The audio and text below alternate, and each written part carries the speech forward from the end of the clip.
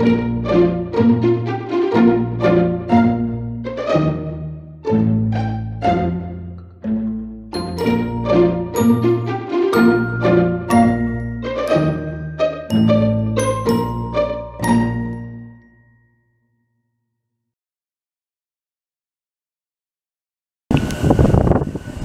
んにちは。ただいま、東急東横線学芸大学駅の一番乗り場に来ています。まもなく、学芸大学駅9時26分発の相模鉄道直通の急行湘南台行きが10両で来ます。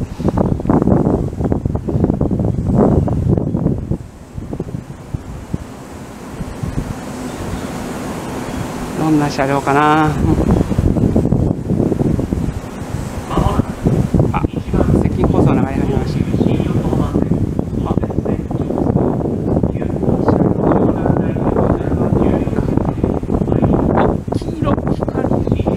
東急の5050系4000番台の黄色い電車かな。